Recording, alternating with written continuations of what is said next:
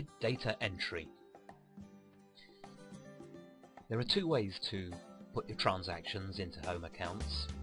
One is by importing bank statements and the other way is by doing it all manually. Home Accountz has been optimized for both of these methods. Many people prefer to use the manual method because it's a great way of checking if what you think transactions look like the same as what the bank credit card people think.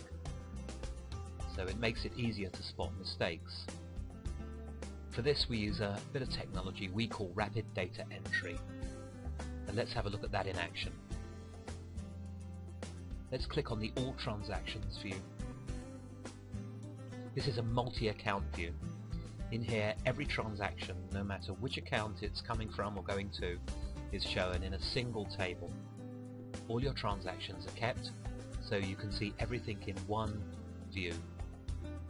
Let's enter a new transaction. First the date field. You can type your date in any format you like, for example 5 space 6. As you can see the calendar has automatically set this for 5th of June in the current year. If I do now say uh, full stop and then type 2009, it's respected that as well.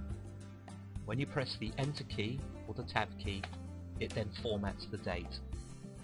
That date format can be changed in the Tools configuration option.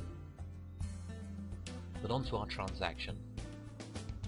Descriptions like this can have multiple paragraphs by pressing Shift Enter. Press it twice and you can start a new paragraph off. Press the Enter key when you're done. Payee. If you want to add a payee, if you're buying something, you can do here. Let's start typing the payee name.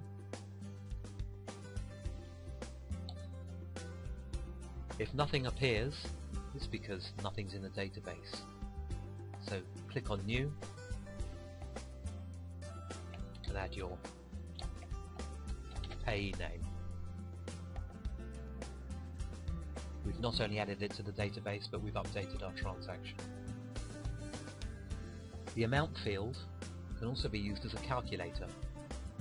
So you could type in 50, but you could also type in equals 12 times 2.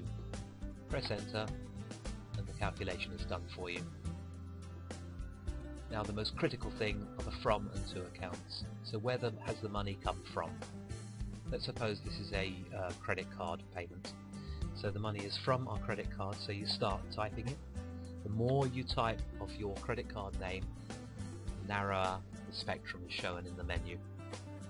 Obviously you wouldn't call it credit card, you'd give it the proper name for the account you actually have. So you can have as many credit cards and any accounts you like. So it's from the credit card and it's going to food. Again, the more you type in, the more it narrows it down. You can also add a new account directly from here as well. Once you start to use this, you'll find it's very very quick. Now our next date, supposing this was on the 9th of June, you only have to type 9, press enter, and away you go. £10 from, this time, the bank. Again, you wouldn't call it bank, you'd call it your actual bank name, whatever you wanted to call it. Where's this gone? This has gone on petrol. You can see how it narrows it down. There are also templates you can use for one-click entry of commonly occurring things, such as taking cash out of an ATM machine. This speeds it up even further.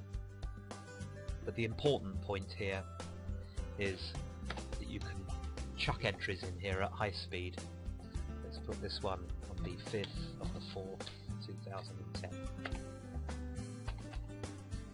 £100 from the bank to the credit card. You can see here we're paying off the credit card. The money's come from our bank and it's gone to our credit card. And that's how simple it is to do.